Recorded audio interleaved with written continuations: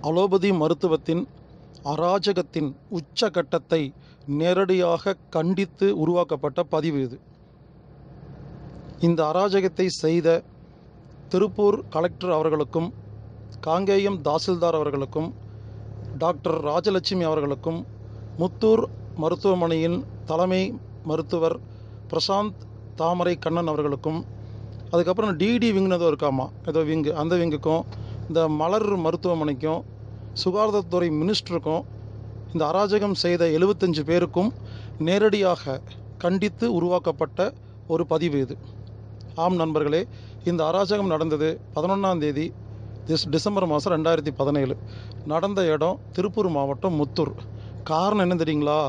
எந்த ஒரு ஹாஸ்பிட்டலுக்கும் போகாமல் மருந்து மாத்திரையே சாப்பிடாம தடுப்பூசியே போடாமல் அயன் டேப்லெட்டே சாப்பிடாம வீட்டிலேயே ஹாஸ்பிட்டலுக்கே போகாமல் தானாக சொந்தமாக ஒரு அப்பாவும் ஒரு அம்மாவும் குழந்தைய பெற்றுக்கிட்டு தொப்புள் கொடியை கட் பண்ணாமல் மறுட்டி சுகப்பிரசவத்து பிரகாரம் சக்ஸஸ்ஃபுல்லாக வீட்டில் குழந்தை பெற்றுட்டு உட்கார்ந்துருக்கும் பொழுது இந்த தந்தையும் தாயும் மருத்துவரையோ சுகாதாரத்துறையோ யாரையும் கூப்பிடாம நான் சொன்ன இந்த மேலே சொன்ன இந்த இந்த இவ்வளோ பேரும் இவங்க கூட எழுபத்தஞ்சு பேர் வந்து அந்த சதீஷ்ங்கிறவரை வீட்டு அரெஸ்ட் வச்சு செல்ஃபோனை பிடுங்கிட்டு குழந்தைய ரொம்ப டார்ச்சர் பண்ணி அம்மாவை டார்ச்சர் பண்ணி மாமியார் மாமனாரை டார்ச்சர் பண்ணி அவங்க அம்மா மயக்கமே போட்டு தொப்புள் கொடி திருடிட்டு வேற போயிட்டு இத்தனை பேர்த்தையும் மிரட்டி மிகப்பெரிய ஒரு கொடுமையான ஒரு அராஜகத்தை நடத்தி இருக்கிறார்கள் இத்தனை வருஷமாக நான் எட்டு வருஷமாக என் பேர் ஈலர் பாஸ்கர். நான் எட்டு வருஷமாக யூடியூப்பில் பேசிகிட்டு இருக்கேன் இது வரைக்கும் எந்த கலெக்டர் பேரையோ எந்த ஒரு டாக்டர் பேரையோ நேரடியாக நான் சொன்னதே கிடையாது. ஏன்னா அவங்க அவங்க வேலையை பார்க்குறாங்க. நான் நான் வேலையை என் வேலையை பார்த்துட்டு இருக்கேன் ஆனால் இந்த முறை நான் வேறு வழி இல்லாமல் டாக்டரோட பேரும் கலெக்டர் பேரும் சொல்ல வேண்டிய ஒரு கட்டாயத்தில் இருக்கிறேன். ஏன்னா ஹாஸ்பிட்டலுக்கு போனால் தான் கொடுமைப்படுத்துறாங்கன்னு ஊரெல்லாம் மேடை போட்டு மைக்கு போட்டு யூடியூப்பில் ஹாஸ்பிட்டல் போகாதீங்க. அளவதி மருத்துவம் அராஜகம் பண்ணுதுன்னு சொல்லிட்டு இருந்தா வீட்டுக்குள்ளேயே பூந்து சுகப்பிரசவம் பெற்றுக்கிட்ட ஒரு தந்தையும் தாயையும் இவ்வளவு கொடுமைப்படுத்தியிருக்கீங்களே? இதை நான் வன்மையாக கண்டிக்கிறேன். எனவே தமிழக மக்கள் அனைவரும் தமிழகம் மட்டுமல்ல உலகில் உள்ள அனைவரும் இந்த பதிவை தயவு செய்து கேளுங்கள். இதுக்கு ஒரு உடனே ஒரு முடிவு எடுக்கணும். ஏன்னா அராஜகத்தின் உச்சகட்டத்தை அடைஞ்சிருச்சு. நான் சொன்ன இந்த பேர் லிஸ்ட்டில் டாக்டர் தமயந்தி அப்படிங்கிறவங்க பேர் வந்து மிஸ் ஆயிடுச்சு அதையும் சேர்த்திக்குங்க. இந்த மொத்த அராஜகத்துக்கும் மிக முக்கிய காரணம் டாக்டர் தமயந்தி அவர்கள்.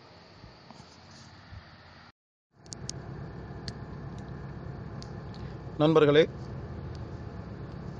திருப்பூர் மாவட்டம் முத்தூரில் சதீஷ்குமார் அப்படிங்கிறவர் நந்தினிங்கிறவங்க ரெண்டு பேருமே இயற்கையாக எந்த ஒரு ஹாஸ்பிட்டல் போகாமல் குழந்தை பெற்றுக்கிறதுக்கு ஏற்பாடு பண்ணியிருக்காங்க.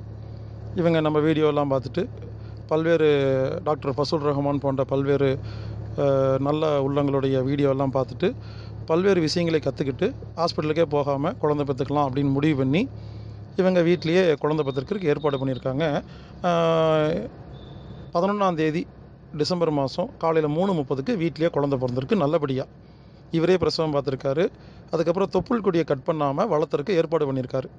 மறுட்டி சுகப்பிரசவம் அப்படின்னு நம்ம பேசியிருக்கிறோம். அதாவது தொப்புள் கொடியை கட் பண்ணாமல் எப்படி ஒரு குழந்தைய வளர்த்துறதுன்னு. அதெல்லாம் அவர் ஒழுங்காக கரெக்டாக ஃபாலோ பண்ணிட்டு இருக்காரு. இவங்க அம்மா என்ன பண்ணியிருக்காங்க? பர்த் சர்டிஃபிகேட் வேணுங்கிறக்காக காலைல குழந்தை பிறந்தோடனே இவங்க ஆஃபீஸில் போய் இந்த மாதிரி எனக்கு குழந்தை எங்கள் வீட்டில் குழந்தை பிறந்திருக்கு வீட்லேயே பெற்றுக்கிட்டோம் அப்படின்னு சும்மா பேசியிருக்காங்க. இதை எப்படியோ தெரிஞ்சுக்கிட்ட இந்த அதிகாரிகள் காலையிலங்க மூணு முப்பது குழந்தை பிறந்திருக்கு எட்டு மணிக்கு ரெண்டு நர்ஸ் வராங்களாமா. வந்துட்டு உடனே தொப்புள் கொடியை கட் பண்ணுறேன் நிற்கிறாங்களாமா இவர் சொல்கிறாராம்மா உங்களை யார் கூப்பிட்டா இப்போ? நீங்கள் போங்க. எனக்கு குழந்தைய வளர்த்துக்க தெரியும். நான் பார்த்துக்கிறேன்னு சொல்லும்போது அதெல்லாம் இல்லை. இது வந்து இல்லீகலு தொப்புள் கொடியை உடனே கட் பண்ணணும். யார் கேட்டு குழந்தை பெற்றுக்கிட்டீங்க இது வந்து அரசாங்கத்துக்கு புறம்பானது அப்படின்னு சொல்லி டிஸ்டர்ப் பண்ணியிருக்காங்க. இவர் உடனே இந்த ரெண்டு நர்ஸை பேசி சமாதானப்படுத்தி வீட்டுக்கு அனுப்பிச்சிட்டாராமா. அதுக்கப்புறம் அதை விட பெரிய நர்ஸ் ஒருத்தவங்க வந்தாங்களாமா. வந்துட்டு ரொம்ப கட்டாயப்படுத்துனாங்களாம்மா கட்டாயப்படுத்துனாங்களாமா. எப்படியாவது அந்த தொப்புள் கொடி அறுக்கிறதுக்கு. இவரும் அந்த நர்ஸுக்கிட்டையும் பேசி நீங்கள் போங்கம்மான்னு சொன்ன நீ சொன்னால் நான் கேட்க மாட்டேன். இரு இரு நான் மேலே போய் டாக்டர் அனுப்புகிறேன்னு சொல்லி அதுக்கப்புறம் ரெண்டு டாக்டர் வந்தாங்களாம்மா ஒருத்தங்க ஆயுர்வேதம் படித்தவங்க கேரளாக்கார டாக்டர். இன்னொருத்தங்க எம்பிபிஎஸ் படித்த டாக்டர் ராஜலட்சுமி. நான் இது வரைக்கும் யாருடைய பேரையும் சொல்லாமல் தான் யூடியூப்பில் பேசுவேன். இப்போ நான் ஏன் இந்த பேரெல்லாம் சொல்கிறேன்னா இது அராஜகத்தின் உச்சகட்டத்துக்கு போயிருச்சு. இனிமேல் பேர் சொன்னாமல் பேசினோம்னா நல்லா இருக்காது. ஸோ டாக்டர் ராஜலட்சுமி அவர்கள் வந்திருக்காங்க. இவங்க வந்து ரொம்ப கம்பல் பண்ணியிருக்காங்களாமா நெகட்டிவாக பேசியிருக்காங்களாமா யார் கட்டி பற்றிட்டீங்க குழந்தைக்கு உயிருக்கு ஆபத்து. அம்மா மயக்கம் போட்டுருவாங்க அப்படின்னு சொல்லி பேசி அவர் ரொம்ப நெகட்டிவாக பேசி டீமோட்டிவேட் பண்ணி ரொம்ப ஃபோர்ஸ் பண்ணி அராஜகம் பண்ணி வீட்டுக்குள்ளே வந்து தொப்புள் கொடியை கட் பண்ணுறதுக்கு முயற்சி பண்ணியிருக்காங்க இவரும் அந்த மாட்டியும் பேசி சமாளித்து எனக்கு எல்லாம் தெரியுங்கம்மா. லோட்டஸ் பர்த்துன்னு இருக்குது மறுபடி சுகப்பிரசவன் இருக்குது டிலே கட் ஆஃப் அம்ப்ளிகபிள்னு இருக்குது எங்களுக்கு தெரியும் நானும் மெடிக்கல் படிச்சிருக்கேன் நீங்கள் முதல்ல வீட்டுக்கு கிளம்புங்கன்னு சொல்லி அனுப்பிச்சிருக்காங்க. அந்த அம்மா என்ன தெரியுமா பண்ணியிருக்காங்க ரோட்டில் போய் நின்றுட்டு கத்து கத்துன்னு கத்தாங்களாமா. ஊரே கூடிருச்சாமா. நம்ம வெளியேருந்து கத்துறாங்களாமா. எம்பிபிஎஸ் தானே படிச்சிருக்காங்க இவங்க. இவங்க கிரெடிட் கார்டு கலெக்ஷனுக்காக வந்திருக்கீங்க? ஏமா கிரெடிட் கார்டு வேணால் கலெக்ஷனில் வந்தால் சிட்டி பேங்க்கு இந்த ஸ்டாண்டர்ட் சார்ட் பேங்க்கில் சேர்ந்துக்குங்கம்மா. இந்த கலெக்ஷன்லாம் தரலன்னு கத்துனீங்கன்னு வச்சிங்களேன் நல்லா கலெக்ஷன்லாம் வரும். டாக்டரு ரோட்டுன்னு கத்துவாங்களா? இப்படி கற்று கற்றுன்னு கத்தும் பொழுது ஏகப்பட்ட பிரச்சனை பண்ணியிருக்காங்க. அதுக்கப்புறம் அந்த அம்மா போயிட்டு அதோட பெரிய டாக்டர் அனுப்பிச்சாங்களாம்மா அவங்க வந்து என்ன சொன்னாங்களாமா இந்த தொப்புள் கொடி கட் பண்ணலைன்னா அதில் இருக்கிற இன்ஃபெக்ஷன் எல்லாம் காற்று வழியாக ஜன்னல் வழியாக பரவி ஊரில் இருக்க எல்லா மக்களுக்கும் நோய் வந்துடும் அஞ்சு நிமிஷத்தில் கட் பண்ணணும் அப்படின்னு சொல்லி அவங்க வந்து சண்டை பிடிக்கிறாங்களாமா இன்னொன்று கேட்குறாங்களாமா செத்து போன ஒரு தொப்புள் கொடியும் நஞ்சு கொடியும் ஏன் வச்சுருக்கீங்க? அதான் செத்து போயிருச்சல்ல அதை தூக்கி வீச வேண்டியதானே கட் பண்ண வேண்டியதானே அப்படின்னு. நான் என்ன கேட்குறேன்னா இறைவனுக்கு அறிவு இல்லையா?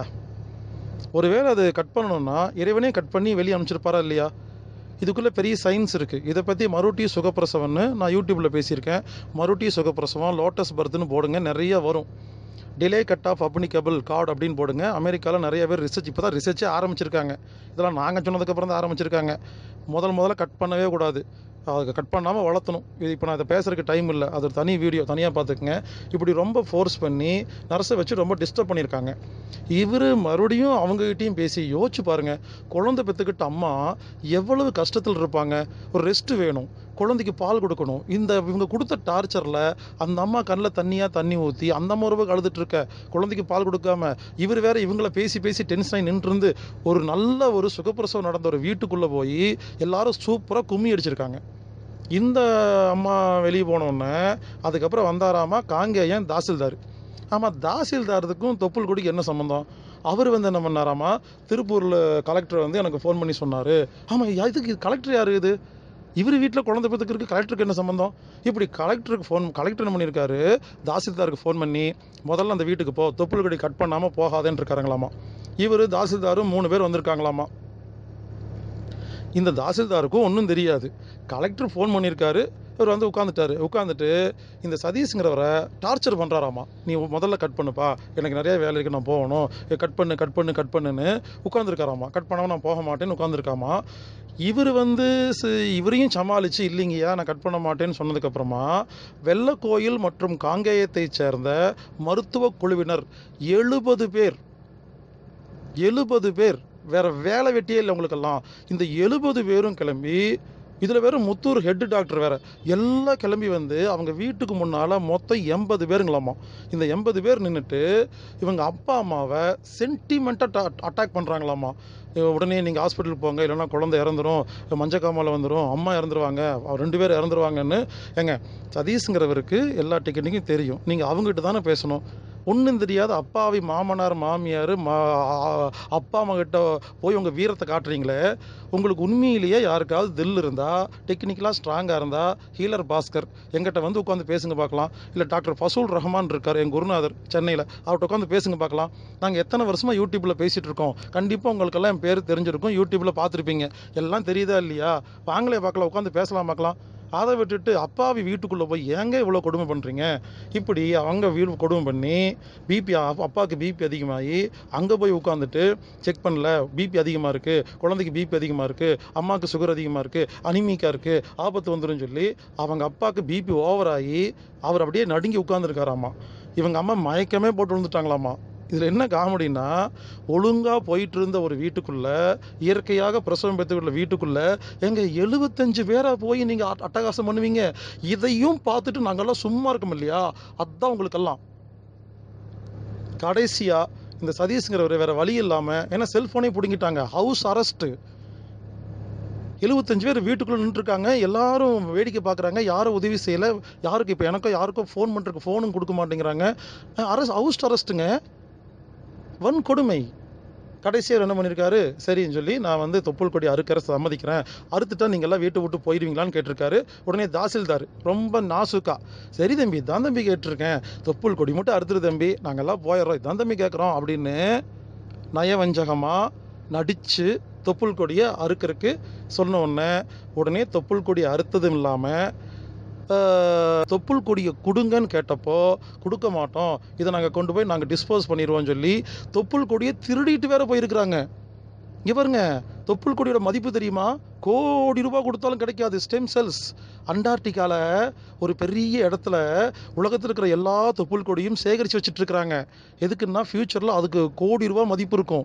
புரிஞ்சுக்குங்க? இப்படி உலகத்தில் இருக்கிற எல்லாத்துடைய ஸ்டெம் செல்ஸு திருடுறாங்க. இதனால தான் எல்லா ஹாஸ்பிட்டல்லையும் ஸ்டெம் செல்ஸ் தெரப்பி அப்படிங்கிறதும் அம்பிளிக்கல் பேங்க்னு ஆரம்பித்து நம்ம தொப்புள் கொடியை அவங்க திருடிட்டு போகிறதுக்கு எண்பதாயிரம் பணம் வேறு வாங்குறாங்க. மாதம் மாதம் வேறு பணம் கட்ட சொல்கிறாங்க நம்பாதீங்க. இது எல்லாமே பொய். எல்லாமே ஏமாத்து வேலை. ஸ்டெம் செல்ஸ் உங்கள் குழந்தையோட உசுறு அதை நீங்கள் தான் வச்சுக்கணும். இது எப்படி பதப்படுத்துறதுன்னு சொல்லி கொடுத்துருக்குறோம். இப்படிப்பட்ட கோடிக்கணக்கான மதிப்புள்ள அதுவும் இங்கே பாருங்க சுகப்பிரசவம் மருந்து இல்லாமல் மாத்திரை இல்லாமல் வீட்லேயே பிரசவம் பெற்றுக்கிட்ட ஒரு குழந்தையோட தொப்புள் கொடி இன்டர்நேஷ்னல் லெவலில் கோடி ரூபா பல கோடி ரூபாய்க்கு வியாபாரம் ஆகுங்க அப்படி ஏதோ தெரிஞ்சுக்கிட்டு இத்தனை பேர் சேர்ந்து அந்த தொப்புள் கொடியை திருடி விற்கிறக்காக அதை வேற எடுத்துகிட்டு வேற போயிட்டாங்களாமா? இந்த அராஜகத்தை நாம் உடனடியாக தட்டி காக்க வேண்டிய ஒரு கட்டாயத்தில் இருக்கிறோம்.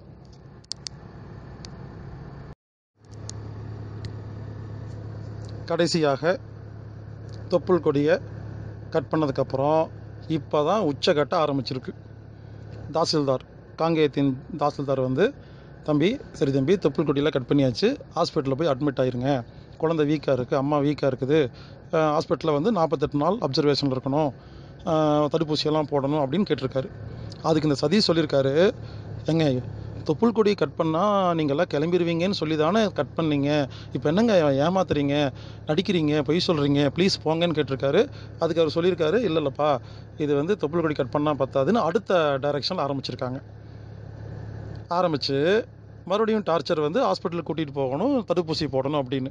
இவர் கெஞ்சி கேட்டிருக்காரு இந்த தாசில்தார் விடலை. அவர் சொல்லியிருக்காரு எனக்கு ஒன்றும் தெரியாதுப்பா. எனக்கு இதெல்லாம் ஒன்றும் தெரியாது.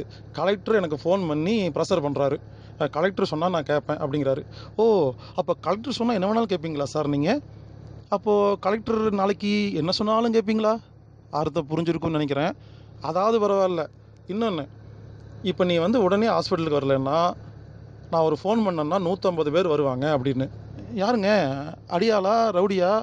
ஏன்னா அதுக்குன்னு நூற்றம்பது பேர் எப்பவுமே லாரியில் வச்சுருப்பீங்களா? இப்படி நூற்றம்பது பேர் வருவாங்கன்னு சொல்லிட்டு அவங்களுக்கு இனிமேல் நூற்றம்பது பேருக்கு நீ தான் டீ வாங்கி கொடுக்கணும். மூணு நேரம் சோறு போடணும். தங்குறக்கெல்லாம் ஏற்பாடு பண்ணணும். ஏன்னா நாங்கள் போக மாட்டோம் அப்படின்னு சொல்லியிருக்காராமா. இது என்னங்க? அராஜகத்தின் உச்சகட்டமாக இருக்குது. அன்பு விட ரொம்ப மோசமாக இருக்குது. சினி ஃபீல்டில் அம்பில் செல்வன் காசு கொடுக்கலன்னா வசூல் பண்ணுவானாமா? அதை விட ரொம்ப மோசமாக இருக்குது. தொப்புள் கூடிய திருடருக்கு இப்படி அந்த தாசில்தார் சொல்லி இவரை ஓவர் டென்ஷன் பண்ணி ஒரு ஓசி டீக்காகவும் சாப்பாட்டுக்காகவும் இப்படி பண்ணியிருக்காரு. நான் ஒன்று பண்ணலான் இருக்கிறேன். தாசில்தார் காங்கேயம் அப்படின்னு ஒரு கொரியர் ஒன்று அனுப்பிச்சு புளி சாப்பாடு தயிர் சாப்பாடுலாம் டெய்லி கட்டி கட்டி கொரியர் அனுப்பலான்னு இருக்கிற அவருக்கு. பாவம் சோத்துக்கல்ல போல் இருக்கு அவருக்கு. ஒரு சாப்பாட்டுக்கும் டீக்கும் இப்படியா வீட்டில் போய் பிச்சு எடுக்கிறது? இப்படி அடுத்தது தாசில்தார் உச்சகட்டத்துக்கு போய் இவர் மறுபடியும் ஹாஸ்பிட்டல் வரமாட்டேன் மறுபடியும் அடுத்த கதை. யோசிச்சு பாருங்க குழந்தை பெற்றிருக்காரு அவர் டென்ஷனாக இருப்பார் குழந்தை பாவம் த குடிக்க பால் இல்லை அம்மா டென்ஷனாக இருக்காங்க மாமியார் மயக்கம் போட்டிருக்கிறாங்க. இப்படியா கொடுமைப்படுத்துறது? இது வரைக்கும் நான் இந்த மாதிரி ஒரு பதிவு நான் பண்ணதே இல்லை. ஏன் பண்ணதில்லைன்னா ஏதோ நம்ம வாட்டி நம்ம இருக்கிற இடம் தெரியாமல் வேலையை பார்த்துக்கலாம். அவங்க பாட்டுக்கு என்னவோ பண்ணிட்டு போகலான்னு நினச்சா ரொம்ப ஓவராக தான் போகிறீங்க அடுத்ததுங்க இதாவது பரவாயில்லைங்க. இந்த முத்தூர் கவர்மெண்ட் ஹாஸ்பிட்டலுடைய ஹெட் டாக்டர் இருக்கார் இல்லைங்களா? பிரசாந்த் தாமரை கண்ணலாம் அவர் பேர். அவர் வந்திருக்காரு. ஆமாம் ஹாஸ்பிட்டலில் தான் உங்களுக்கு வேலை? வீட்டுக்குள்ள எதுக்கு வரீங்க? வீட்டுக்கு வந்துட்டு ஒய்ஃப் ரூமுக்கு இவர் இவரோட கணவனின் அனுமதி இல்லாமல் மனைவியோட ரூமுக்குள்ளே போயிட்டு குழந்தை பெற்றுக்கிட்ட ஒரு மனைவியோட ரூம்குள்ளே போய் கூப்பிடாம உள்ளே போய் நீ அனிமிக்காக இருக்கிற? ரொம்ப பேடாக இருக்கிற? குழந்தைக்கு ஏதாவது ஆபத்து வந்துடும் அப்படின்னு டீமோட்டிவேட் பண்ணி அவங்க ஒய்ஃப் சொல்கிறாங்களாமா நான் ரொம்ப நல்லா இருக்கிறேங்க ஆரோக்கியமாக இருக்கேன். நீங்கள்லாம் போனீங்கன்னாவே நான் தூங்கிடுவேன் தூங்கினா நான் பால் கொடுத்துருவேன். குழந்தைய காப்பாற்றிடுவேன் சொல்லி கெஞ்சும் போது அதெல்லாம் முடியாது சொல்லி அனிமிக்காக இருக்கீங்க? ஹீமோக்ளோபின் கம்மியாக இருக்குது. இவர் என்ன படிச்சிருக்காரு? எதுக்கு இப்படி பண்ணிட்டு இருக்காரு? தண்ணி வந்தால் என்ன பண்ணுவீங்க? யூரின் போச்சா? மலம் போச்சா? ஏன் அப்படி நடந்துட்டு இருக்கீங்கன்னு ஆயிரத்தெட்டு கேள்வி நெகட்டிவாக பேசி பேசி பேசி பாஸ் டாக்டர்னா நல்ல வார்த்தை பேசணும். இப்படி வம்படியாக அனுமதியாக கூப்பிடாம வீட்டுக்குள்ளே போய் இப்படியெல்லாம் பேசக்கூடாது. நீங்கள் ஹெட்டாக இருக்கலாம் ஹாஸ்பிட்டல் ஹெட்டாக இருக்கலாம். அது ஹாஸ்பிட்டலுக்குள்ளே வச்சுக்கோங்க. வீட்டுக்கெல்லாம் வந்தால் நான் என்ன மாதிரி நிறைய பேர் இருக்காங்க. அப்புறம் நாங்களாம் உங்கள் வீட்டுக்கு வர ஆரம்பிச்சிருவோம். இது முதல் தடவைங்கிறனால இது பதிவோடு நிறுத்துறேன். இரண்டாவது முறை எங்கேயாவது எந்த ட கலெக்டராவது எந்த தாசில்தாராவது எந்த டாக்டராவது வீட்டுக்கெல்லாம் போனீங்கன்னு வச்சுக்கங்களேன் கூப்பிடாம கொள்ளாமல் உங்கள் வீட்டுக்கு நேரில் வருவோம். ஓப்பனாக சொல்கிறேன் டேரெக்டாக சொல்கிறேன் அது யாராக இருந்தாலும் சரி மினிஸ்டராக இருந்தாலும் சரி வீட்டுக்கே வருவோம். என்ன நடக்குதுங்க? இப்படிப்பட்ட டாக்டர் போய் அங்கே போய் மிரட்டு மிரட்டுன்னு மிரட்டி அவர் கேட்டிருக்காராமா? இது எப்படி முடியும் அப்படின்னு? முடியுதா இல்லையா? உங்களுக்கு தெரிலங்கிறக்காக நாங்கள் பண்ணாமல் இருப்போமா? இந்த அளபதி டாக்டருக்கெல்லாம் ஒன்று சொல்கிறேன் நீங்கள் படிச்சிங்க இல்லையா? படிப்பு அது தப்பு. ஓப்பனாக சொல்கிறேன் தப்பு. நான் நிரூபிக்கிறேங்க. அலோபதி மருத்துவம் ஆங்கிலத்தில் நீங்கள் படிச்சிருக்கீங்க. இதே என் கூட வாங்க ஜெர்மன் நாட்டுக்கு போவோம். அலோபதி மருத்துவம் ஜெர்மன் நாட்டில் ஜெர்மனியில் படித்த ஒரு டாக்டரும் நீங்களும் உட்கார்ந்து பேசுங்க. நான் பக்கத்தில் இருக்கிறேன். நான் சொல்கிறதை எல்லாம் அவர் சரின்னு சொல்லுவாருங்க. எனவே நான் பல நாட்டு அலோபதி மருத்துவத்தை ரிசர்ச் பண்ணியிருக்கிறேங்க. தயவுசெய்து புரிஞ்சுக்குங்க. இதெல்லாம் பேசுறதுக்கு டைம் இல்லை. இப்படி இந்த சதீஷு அவர் கையெடுத்து கும்பிட்டாராமா? என்னை விட்டுருங்க. அப்படின்னு சொல்லி கையெடுத்து கும்பிட்டு போங்க நாங்கள் பார்த்துக்குறோன்னு கெஞ்சும் கே கேட்காம இவங்க என்ன பண்ணுறாங்களாம்மா சதீஷ் கொஞ்சம் விவரமாக பேசணுன்னு அவங்க அப்பா அம்மா அந்த குடும்பத்தில் இருக்கிறவங்க எல்லாம் போய் டார்ச்சர் பண்ணி அவங்கள வந்து த்ரெட்டனிங் பண்ணுறாங்களாமா இப்போ யோசிச்சு பாருங்கள் இப்போ நமக்கு எல்லாம் தெரிஞ்சு போச்சுன்னா நம்ம அட்ஜஸ்ட் பண்ணி எதாவது பண்ணிக்கலாம். அப்பா அம்மாட்ட போய் டார்ச்சர் போட்டோம் அவங்க என்ன பண்ணுவாங்க? நமக்கு ப்ரெஷர் கொடுப்பாங்க. இப்படி நேரடியாக பேசுவதற்கு தெம்பில்லாத டெக்னிக்கலி பவர் இல்லாத ஒன்றும் தெரியாத இந்த மருத்துவ கும்பல் அப்பாவி அம்மாவையும் அப்பாவையும் டார்ச்சர் பண்ணி மயக்கம் போட வச்சு கொடுமைப்படுத்தி இந்த டாக்டரு அவங்கள கொடுமைப்படுத்தி இதை வேற எல்லாம் அங்கே அங்கே வந்து என்ன பண்ணாங்களாமா? எல்லாமே செஞ்சுட்டு அடிக்கடி ஃபோட்டோ எடுக்கிறாங்களாமா? அடிக்கடி வீடியோ எடுக்கிறாங்களாமா? ஹவுஸ் அரசில் வச்சுருக்காங்க. செல்ஃபோன் வேறு கையில் கொடுக்கல. ஏதோ ரவுடி பசங்களாம் நாலஞ்சு பேர் வந்திருந்தாங்களாமா? இவங்க எது கூட்டு வந்தாங்கன்னு தெரில இவங்கெல்லாம் எங்கே இருக்காங்கன்னு தெரில இப்படி வந்து மிகப்பெரிய கொடுமைப்படுத்தி சொல்கிறாங்களாமா வீட்டில் குழந்தை பெற்றுக்கக்கூடாது அப்படிங்கிறது ஓரலாக எங்களுக்கு ஆர்டர் கொடுத்துருக்காங்க. அந்த மாதிரி இருந்தால் நாங்கள்லாம் அதை போய் ரிப்போர்ட் வந்து நாங்கள் வந்து மினிஸ்டர் கொடுக்கணும். அப்படி இல்லைன்னா எங்கே வேலை போயிருன்னு. கடைசியாக புரிஞ்சுது இவங்க யாரு மேலேயும் தப்பு இல்லை. மினிஸ்டர் ஒரு ஆர்டர் கொடுத்துருக்காரு. வீட்டில் இனிமேல் யாராவது குழந்தை பெற்றுக்கிட்டுனா டார்ச்சர் மேலே டார்ச்சர் கொடுங்க. அப்படி மீறி ஏதாவது குழந்தை பெற்றுக்கிச்சுன்னா நர்ஸு வேலை போயிடும் டாக்டர் வேலை போயிடும் தாசில்தார் வேலை போயிடும் கலெக்டர் வேலை போயிடும் டிடி விங்கு வேலை போயிடும் இப்படி பல்வேறு டிபார்ட்மெண்ட் இருக்கிற எல்லாத்துக்கும் பெரிய ப்ரெஷர் கொடுத்துருக்காங்க. வீட்டில் குழந்தை பெற்றுக்க கூடாதுன்னு. இந்த இந்த ப்ரெஷர் யார் கொடுத்தாலும் சரி அது மினிஸ்டராக இருந்தாலும் சரி சிஎம்மாக இருந்தாலும் சரி பிஎம்மாக இருந்தாலும் சரி யாராக இருந்தாலும் நான் நேரடியாக கண்டிக்கிறேன். நான் மட்டும் இல்லை உலகத்தில் இருக்கிற எல்லா மக்களும் கண்டிக்க வேண்டும் என்பதை நான் கேட்டுக்கொள்கிறேன். இப்படி ரொம்ப இது பண்ணி ஹாஸ்பிட்டலில் அட்மிட் பண்ணணும் அப்படின்னு சொல்லி கெஞ்சி கெஞ்சி கெஞ்சி கெஞ்சின்னு கெஞ்சிருக்காங்க இந்த டாக்டர் கடைசியாக வேறு வழி இல்லாமல் அதாவது என்ன செய்கிறதுன்னு தெரியாமல் சதீஷும் குடும்பமும் யோசித்து கொண்டிருந்தது. இப்படி ரொம்ப குழப்பத்தில் இருக்கும் பொழுது அந்த ஹெட் டாக்டர் சொன்னாராமா மரியாதையாக நீயே வரையா? இல்லை நான் இழுத்துட்டு போகட்டான்னு இது சாரி டாக்டர் இது நல்லது இல்லைங்க நீங்கள் யாராக இருந்துட்டு போங்க. இப்படியெல்லாம் சொல்கிறது சரியில்லை. வேறு வழி இல்லாமல் நான் உங்கள் பேரை சொல்ல வேண்டியதாக போச்சு. இப்படி ரொம்ப மிரட்டிட்டு கடைசியாக என்ன பண்ணியிருக்காங்க இவங்க அப்பா என்ன பண்ணியிருக்காரு தெரியாமல் வாய் விட்டுருக்காரு. சரி நாங்கள் வந்து கவர்மெண்ட் ஹாஸ்பிட்டல் வரமாட்டோம். ப்ரைவேட் ஹாஸ்பிட்டல் வரலாம் அப்படின்னு. உடனே அவங்க அப்பா ஒரு வார்த்தை சொன்ன உடனே உடனே அதே பிடிச்சிட்டாங்களாமா. ஓகே அப்பா சொல்லிட்டார்ல அப்பா சொல்லிட்டாருன்னு சொல்லி முத்தூர் இருக்கிற மலர் ஹாஸ்பிட்டலில் போய் அட்மிட் பண்ணி வச்சுருக்காங்க. அட்மிட் பண்ணிவிட்டு கடைசியாக தான் செல்ஃபோனை கையில் கொடுத்தாங்களாமா. இப்போ தான் அவருக்கு ஃபோனே கையில் வந்து ஹவுஸ் அரஸ்ட்லேருந்து ரிலீஸே பண்ணியிருக்காங்க அது வரைக்கும் யாருக்கிட்டையும் கமிட் பண்ண முடியும் யாருக்கும் ஒரு ஃபோன் பண்ணி உதவி கேட்க கூட முடியலையாமா. சூப்பர் சாமா டெக்னிக். இப்போ ஹாஸ்பிட்டல் அட்மிட் பண்ணியாச்சு. அடுத்து இப்போ கேட்டிருக்காங்களாமா என் நாலு நாள் ஹாஸ்பிட்டலில் இருக்கணும் அப்படின்னு. இவர் சொல்லியிருக்காராமா அதான் வந்துட்டு போகணும்னு சொன்னீங்க அப்புறம் நாலு நாள் அடுத்த கட்ட உச்சக்கட்ட அராஜகம். முதல்ல நாலு நாள் இருக்குன்னு சொன்னாங்களாமா? சும்மா இருந்தால் போதும்னு சொன்னாங்களாமா? அதுக்கப்புறம் வேக்சினேஷன் தடுப்பூசி போடணும்னு சொன்னாங்களாமா? இவர் போட மாட்டேன்னு சொன்னாராமா? உடனே அதுக்கு ஃபோர்ஸ் பண்ணிகிட்டே இருந்தாங்களாமா? உடனே இவர் வந்து இல்லைங்க டிஸ்சார்ஜ் பண்ணுங்க நான் வீட்டுக்கு போகிறேன்னு சொல்லும் பொழுது ப்ரைவேட் ஹாஸ்பிட்டல் தானே நான் வெளியே போகிறேன்னு சொல்லும் பொழுது அதெல்லாம் விட மாட்டோம். ப்ரைவேட் ஹாஸ்பிட்டலாக இருந்தாலும் இது ஜிஹெச்சோட கண்ட்ரோலில் தான் வருது. நீங்கள் போய் கவர்மெண்ட் ஹாஸ்பிட்டலில் ஹெட்டு கிட்ட லெட்டர் வாங்கிட்டு வந்தால் மட்டும்தான் வீட்டுக்கு அனுப்ப முடியும்னு சொன்னாங்களாமா? அவர் என்ன சொல்கிறாராம்மா டிடி விங்லேருந்து எனக்கு மினிஸ்டர்லேருந்து லெட்டர் கிடச்சாச்சு தான் உங்களை அட்மிட் பண்ண முடியும் அப்படிங்கிறாங்கம்மா. என்னங்க அநியாயமாக இருக்குது நாங்களே வேண்டான்னு சொல்கிறோம் விட்டு தொலைய வேண்டியது தானே அதுக்கு என்ன இவ்வளோ ஃபார்மாலிட்டி யார் உருவாக்குனா? இருக்குது எல்லாத்துக்கும் இருக்குது ஒரு நாள் இருக்குது.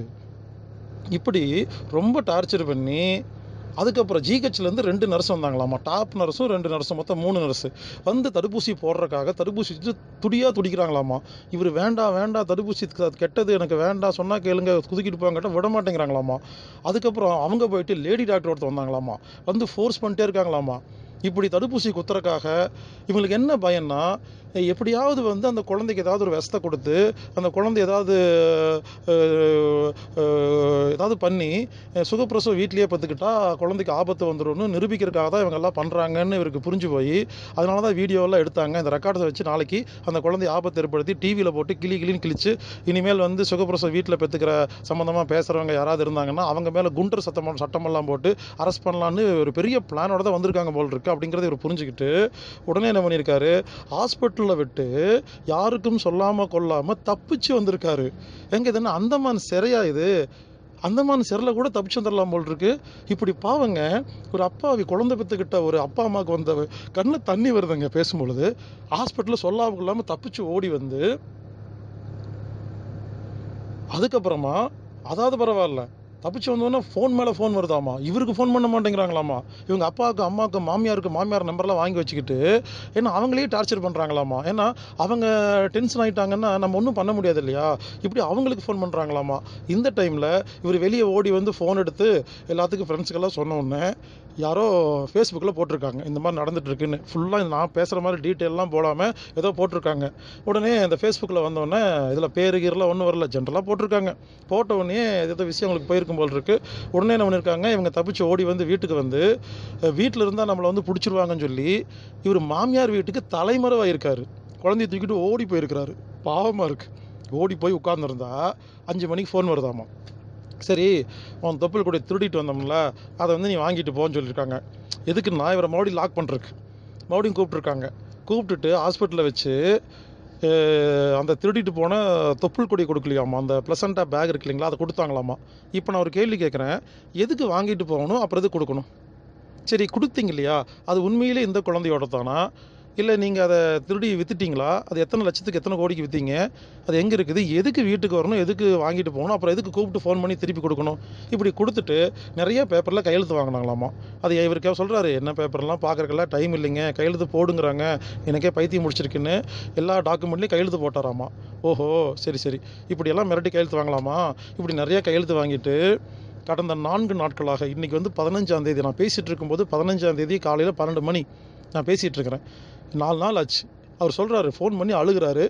நாலு நாளாக தூக்கம் இல்லைங்க. என் மனைவி தூங்கலைங்க. பால் கொடுக்கவே முடியலைங்க. குழந்தைய காப்பாற்ற முடியலைங்க. எங்கள் ரொம்ப கஷ்டமாக இருக்குங்க. குழந்தைய பாதுகாக்க முடியலைங்க. பயமாக இருக்குங்க. யாராவது வந்தால் அது குழந்தைக்கு ஏதோ ஆபத்தோன்னு பயமாக இருக்குங்க. எங்கள் அம்மா மயக்கம் போடுறாங்க. அப்பா மயக்கம் போடுறாங்க. எங்களை யாராவது காப்பாற்றுங்க அப்படின்னு கதறாருங்க. எனக்கு ரொம்ப கஷ்டமாக இருக்குது இந்த இது வரைக்கும் இந்த எந்த ஆடியோ ரிலீஸ் பண்ணும் பொழுதும் நான் வந்து சாதாரணமாக ரிலீஸ் பண்ணுவேன். இப்போ ரொம்ப கஷ்டத்தோடு ரிலீஸ் பண்ணேன் ஏன்னா இது அராஜகத்தின் உச்சகட்டம். உச்சகட்டம்னா உச்சாணி கொம்புன்னு பேர். வேறு வழி இல்லை. நம்ம எல்லாரும் சேர்ந்து ஒரு ஆக்ஷன் எடுக்கலைன்னா இனி ஊரில் வாழவே முடியாது. பொண்டாட்டி தொடக்கூடாதுன்னு சட்டம் போடுவாங்க. யூரின் போடக்கூடாதுன்னு சட்டம் போடுவாங்க. எல்லாத்தையும் நம்ம அனுசரித்து தான் போக வேண்டியது போல் இருக்கும் போல் இருக்கு. இப்படி அது கதறனால இந்த ஆடியோ ரிலீஸ் பண்ணுறேங்க இப்போ கூட இந்த வினாடி கூட அவருக்கு இன்னும் நிம்மதி இல்லை. இன்னும் ஃபோன் வந்துக்கிட்டே தான் இருக்குது வீட்டுக்கு ஆள் வந்துக்கிட்டே தான் இருக்கிறாங்க.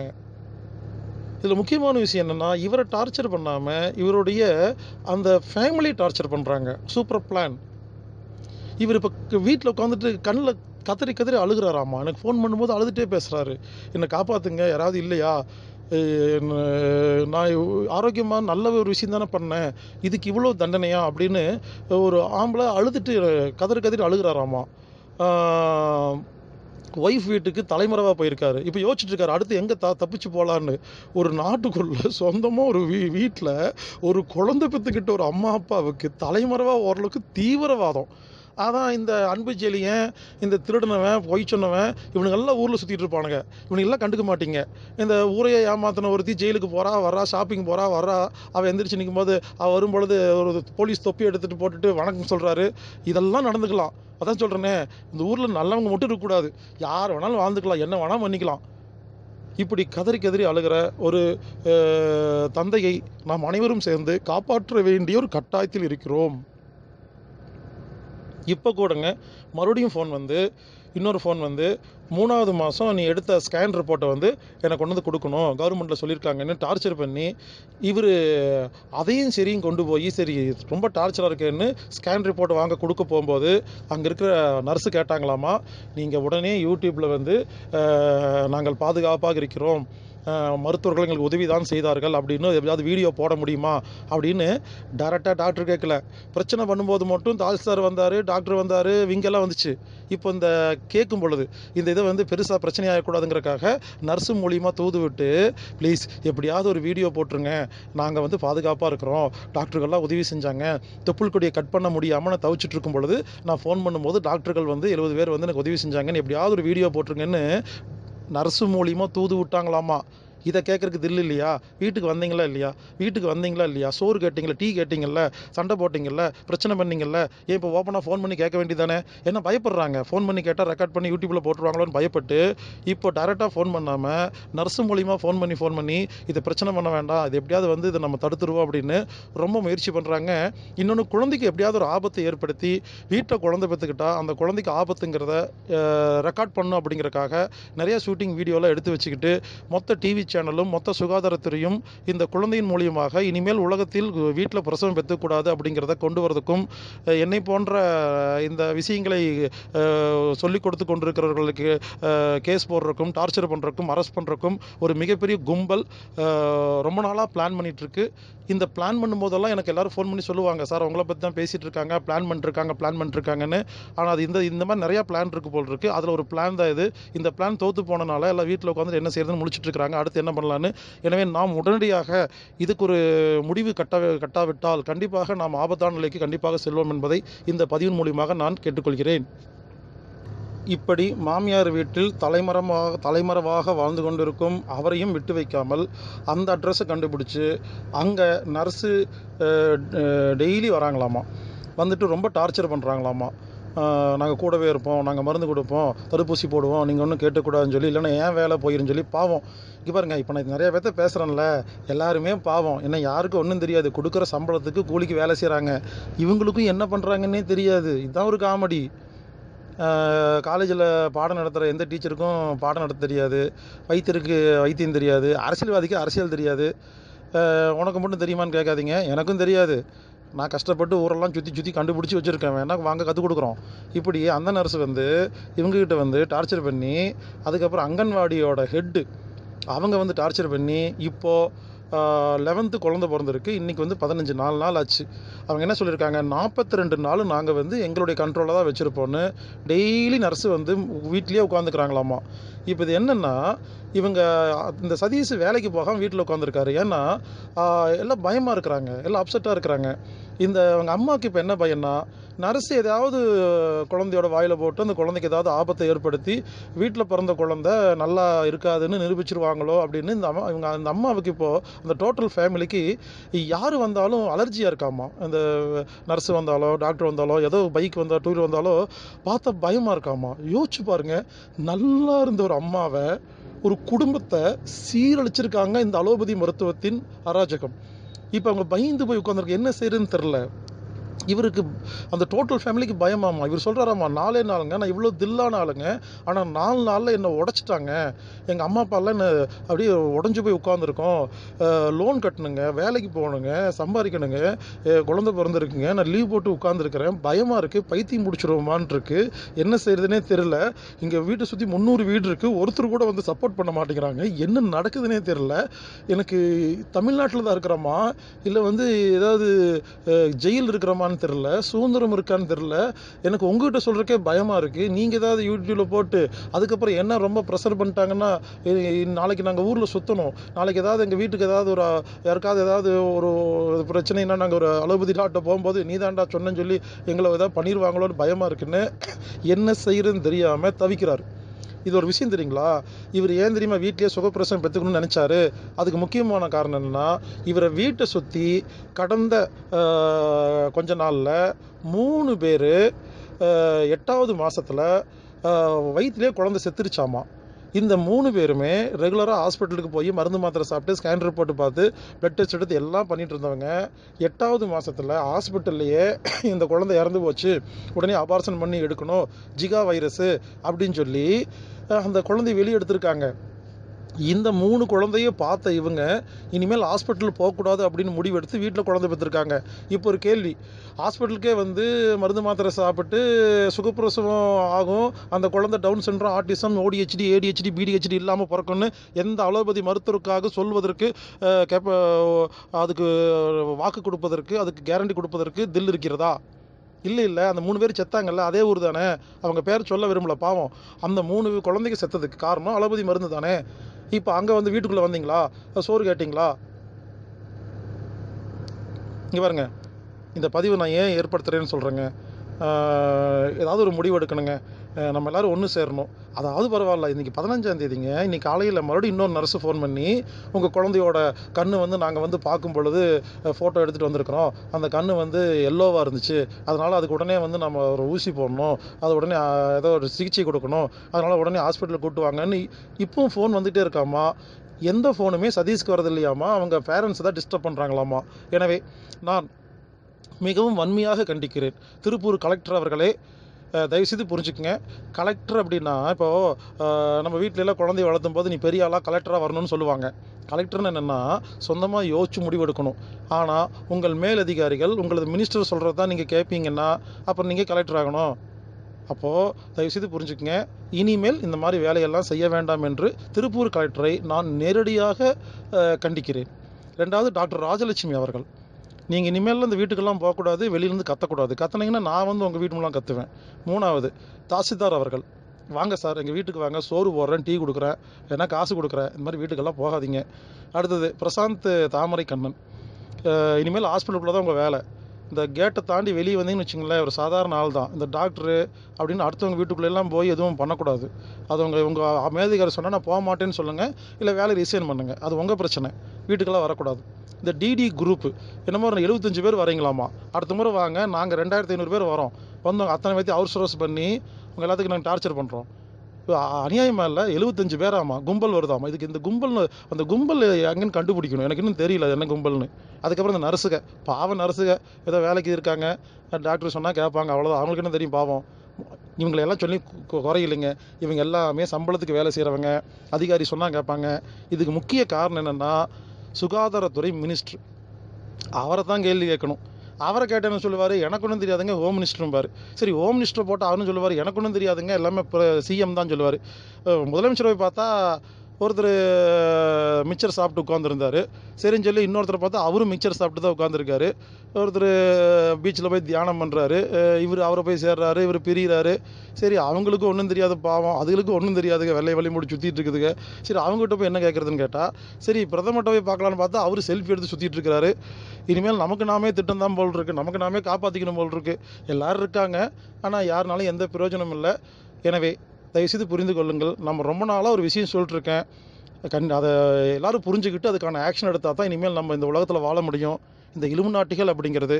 ஸோ உலகில் உள்ள எல்லா துறையையும் லாக் போட்டிருக்கிறது இந்த இலும்பு நாட்டிகள். அவன் அனுமதி இல்லாமல் எதுவுமே நடக்காது. அப்போ அவனுங்க என்ன பண்ணுறானுங்க டைரெக்டாக வந்து முதலமைச்சருக்கு இன்ஸ்ட்ரக்ஷன் கொடுக்குறாங்க. அவங்க மினிஸ்டர்ஸ் கொடுக்குறாங்க. மினிஸ்டர் வந்து அதிகாரி கொடுக்குறாங்க. அதிகாரிகள் இந்த மாதிரி வேலை செய்கிறாங்க ஸோ இப்போ பிரச்சனை வந்து இங்கே இருக்கிற டாக்டரோ கலெக்டரோ கிடையாது. இப்போ இருக்கிற அட்மினிஸ்ட்ரேஷன் எனவே வருங்கால ஐநா சபை பொதுச் செயலராக ஆஹ், இருக்க போகிற நான் உங்களுக்கு கூறிக்கொள்வது என்னவென்றால் நாம் அனைவரும் ஒன்று சேருவோம்.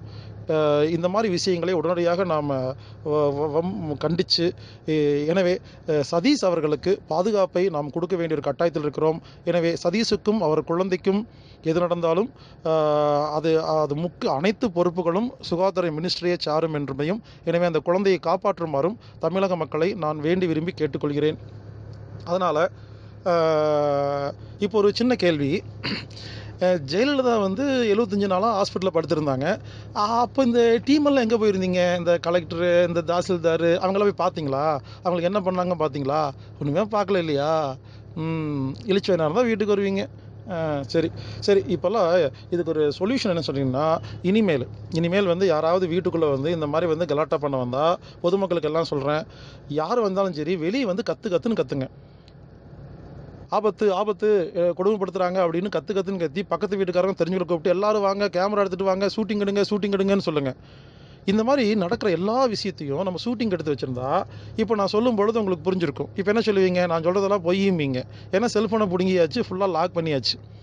அவர் கையில் செல்ஃபோனை கொடுத்து ஒரு வீடியோ ரெக்கார்டிங் கொடுத்துட்டு இதெல்லாம் பண்ணியிருந்தீங்கன்னா இப்போ அத்தனை பேர்த்தையும் அந்த வண்டவாளம் தண்டவாளமெல்லாம் மாட்டியிருக்கும். அதனால் பொதுமக்களுக்கு நான் சொல்கிறேன் இனிமேல் அலோபதி மருத்துவத்தாலோ இல்லை வந்து கலெக்டராலோ தாசில்தாராலோ எந்த ஒரு குடும்பத்துக்காவது யாருக்காவது ஒரு பிரச்சனை வந்தால் முதல்ல என்ன பண்ணுங்க கத்துங்க. கத்து கத்துன்னு கத்தி குடும்ப ஊரில் இருக்க எல்லாத்தையும் கூப்பிட்டு வீடியோ எடுங்க வீடியோ எடுங்க என்ன கொடுமைப்படுத்துகிறாங்கன்னு கற்றுங்க எதுவுமே வீடியோ இல்லாமல் எதுவுமே பண்ணாதீங்க. கம்ப்ளீட்டாக ரெக்கார்ட் பண்ணிங்கன்னா நாளைக்கு நம்ம அதை வச்சு என்ன பண்ணலான்னா அவங்க மேலே ஆக்ஷன் எடுக்கலாம்.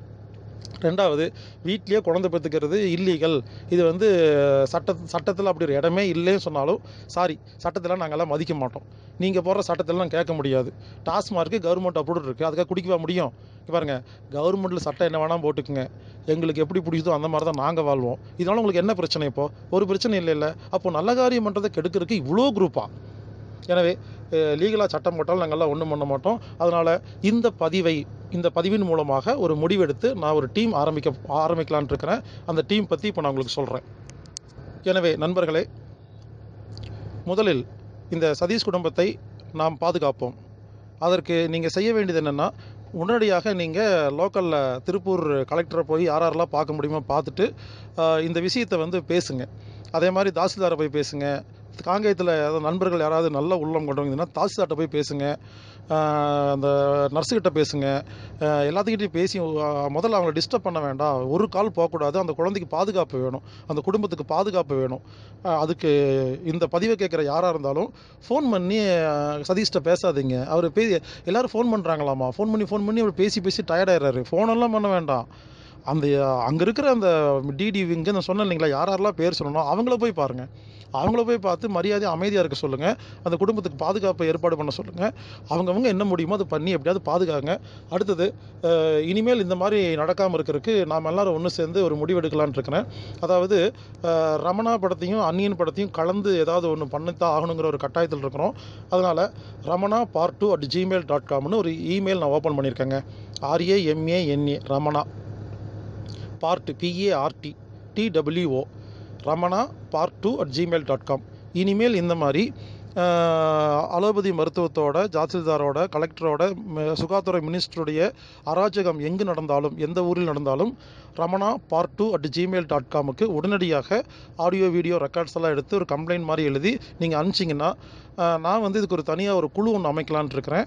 அந்த குழுவில் சேர ஆசை இருந்தாலும் நீங்கள் இந்த குழுவில் நான் சேர்ந்துக்கிறேன். இந்த ஊர்லன்னு சொன்னீங்கன்னா நம்ம எல்லோரும் ஒன்று சேர்ந்து இனிமேல் இந்த மாதிரி நடக்கும் பொழுது நாமெல்லாம் உடனடியாக பொதுமக்கள்லாம் ஒன்று சேர்ந்து பாருங்கள் கவர்மெண்ட்டு இருந்து காப்பாற்றுறதுக்கு நாமெல்லாம் ஒரே கா ஆரம்பிக்க வேண்டிய ஒரு கட்டாயத்தில் இருக்கிறோம். இப்படி ஆரம்பித்து இதை எப்படியாவது நம்ம வந்து இனிமேல் இந்த மாதிரி நடக்காமல் பா நம்ம பாதுகாக்க வேண்டிய ஒரு கட்டாயத்தில் இருக்கிறோம்.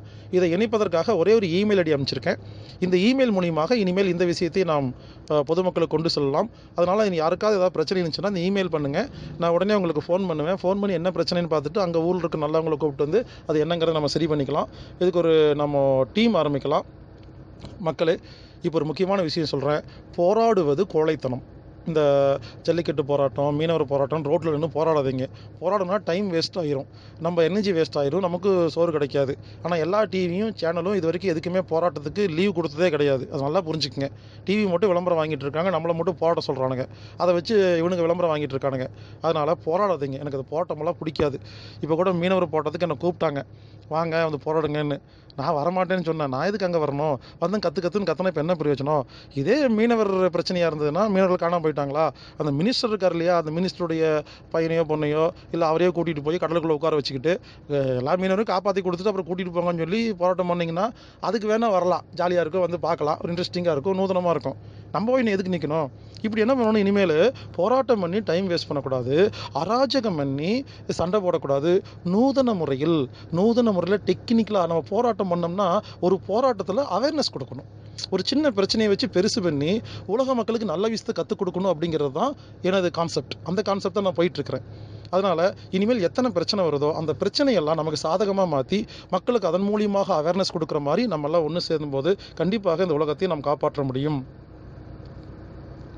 எனவே போராட்டம் வேண்டாம் அராஜகம் வேண்டாம் நூதன முறையில் போராடுவோம். மேலும் விவரங்களுக்கு W W W dot anatomic therapy dot ORG என்ற வெப்சைட்டை பாருங்கள் Ramana part two at Gmail dot காமுக்கு இது சம்மந்தப்பட்ட மெயில் மட்டும் அனுப்புங்க. மற்ற மெயிலில் அனுப்பாதீங்க. மற்ற சம்மந்தமாக உடல் மனம் சம்மந்தமாக ஏதாவது மெயில் அனுப்புகிறதா இருந்தால் healer Bhaskar at Gmail dot காமுக்கு mail அனுப்புங்க. டிவிடி புக்ஸ் ஏதாவது உங்களுக்கு வேணும்னா plus nine one nine six two nine zero three two seven six seven அப்படிங்கிற எண்ணுக்கு தொடர்பு கொள்ளுங்கள் நான் வந்து ஒரு நாற்பது மணி நேரம் பேசின வீடியோ வச்சுருக்கேன்.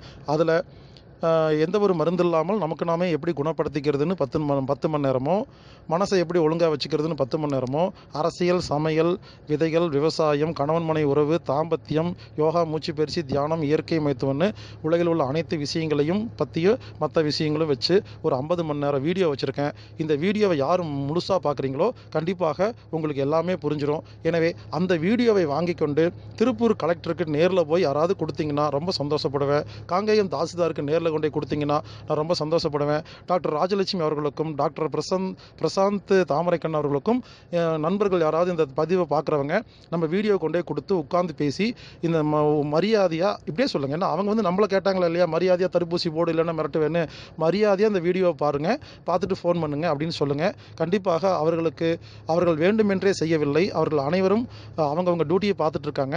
கண் இந்த வீடியோ முழுசாக பார்த்துட்டாங்கன்னா எல்லாரும் கண்டிப்பாக நமக்கு சப்போர்ட் பண்ணுவாங்கன்னு நினைக்கிறேன். எனவே சண்டை போடுவதை விட மக்களுக்கு புரிய வைத்து நமது எதிரிகளை அதாவது எதிரிகளை சண்டை போட்டு இம்மேலும் எதிரியாக மாற்றாமல் சமாதானமாக எதிரிகளுக்கு புரிய வைத்து அவர்களை நம்ம நண்பனாக்கிக் கொள்வதே இனிமேல் நம்ம காரிய காரியம் சிறப்பாக நடைபெறுவதற்கு ஒரு முக்கியமான ஒரு விஷயமாக இருக்கும். எனவே இந்த பதிவை உடனடியாக பகிருங்கள். நாம் கண்டிப்பாக இந்த உலகத்தில் நல்லபடியாக வாழ்வ வாழ வேண்டிய கட்டாயத்தில் இருக்கிறோம். வாழ்க வளமுடன் வாழ்க வளமுடன். செழிக்கட்டும் விவசாயம் சீர்படட்டும் நிர்வாகம். உலக மக்கள் முகங்களில் நிலவட்டும் புன்சிரிப்பு. வளர்க ஆன்மீகம் வாழ்க வாழ்வாங்கு.